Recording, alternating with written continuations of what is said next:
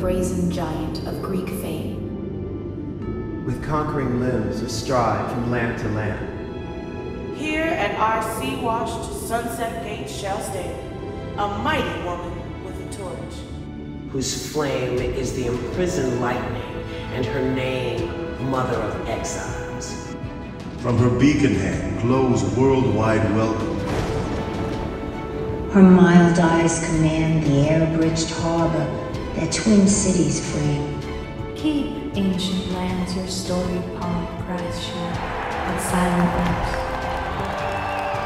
Give me your talla, your tua. Your huddled masses yearning to break free.